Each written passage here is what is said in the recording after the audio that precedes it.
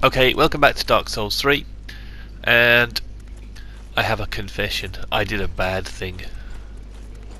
You see, I was having serious problems trying to kill Aldrich using only sorcery. I just couldn't get him down to like much much below half health. And his second phase was just wiping me out. I needed I just didn't have enough Estus to like kill him with magic and still have enough to like heal because it's almost impossible to dodge some of his magic attacks. Well not the magic so much as the arrows. Anyway, so I thought I know. I'll come back to the Boreal Valley and murder this helpless old What is lady. wrong, unkindled one? Are you not a Lord Seeker? Head to the base of the high wall and is this not... I've done that What is wrong? Are you not... Is this... Yeah, yeah, sorry about this love, but uh, the thing is I uh, kind of need to uh, open that staircase behind you. oh dear. Lord, he must be... My dear...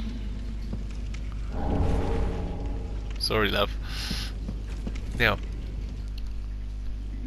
you could actually do this from basically right at the beginning of the game. Although, uh, good luck to you. good luck to you. Except, as a mage, the Dancer of the Boreal Valley is the easiest boss in the game. I was very disappointed because I didn't manage to do the fight perfectly, as in not taking any damage at all. Because she hit me once near the end of the fight. I really like this boss, but it's just it's not it's not fun fighting it with magic. It's just too easy. Fighting it with the sword was great. And it was, you know, not super difficult, but challenging. But look at that. 500 damage. 500 damage. Over 500 damage. And uh, it's entirely chicken strategy here. Run away. Smash the pews. So you don't get stuck on the pews.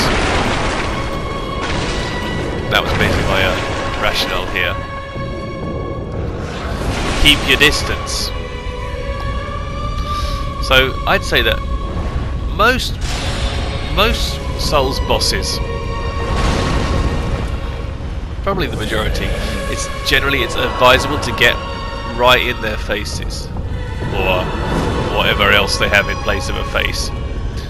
Uh, but basically to stay close to them and their attacks go over your head, things like that. But um, there are a few bosses where keeping your distance has some advantages. And if you can keep your distance and use magic, then those bosses unfortunately always work out to be really, really easy. So here, like, once she's exhausted her spin to win combination, she's vulnerable. And uh, as long as you can, like, run away. I thought she was going to get stuck here for a minute. Spin to win, spin to win. Zap to win. Uh, only problem, yeah. I think the only reason I eventually uh, messed up, maybe it's here, uh, was uh,